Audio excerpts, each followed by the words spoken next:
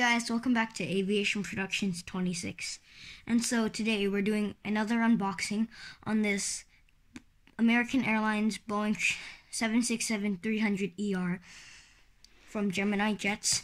It's a Gemini 400, so 1 to 400 scale. And so you can look back here, it says, as real as it gets, highly collectible, superior quality, realistic metal landing gear, detailed printed graphics as real as it gets features. And here you can see a picture of the plane. And then here you, you can just pause the video to see what this is about. And so now the pamphlet, you well, you can also pause this video. So there's just some facts about the plane and stuff. And then yeah, let's get right into the box.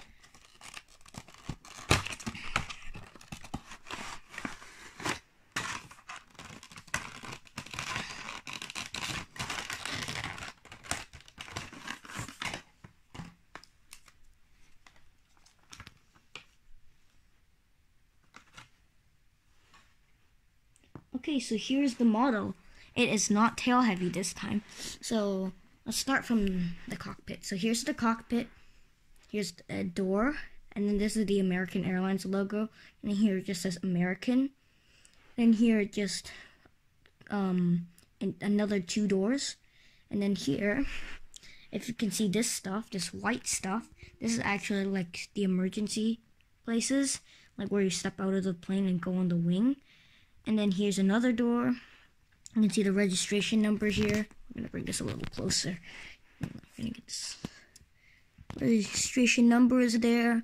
American flag, and then here is just the um, back of the plane, the tail, the tail logo of American Airlines.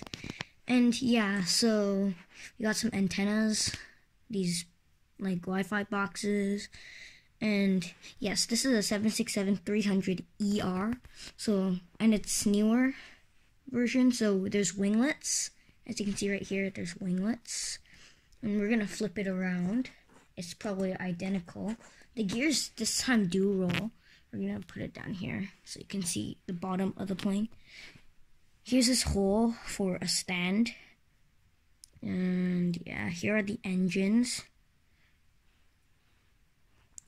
And yeah, so basically the 787 uh, replaced the 767, but there are still 767s flying, like this one. This is considered one of the newer ones, so you just look at the size comparison. The 787's a little bigger, but because it's a seven, it's because that's a 787. But the 767 is pretty big because it's a 300. The 200 is a little smaller, and yeah, it's an ER, so that means extended range. And then, yeah. So, here we just got some. So here you can look in the front. Right here, there's just some minor details.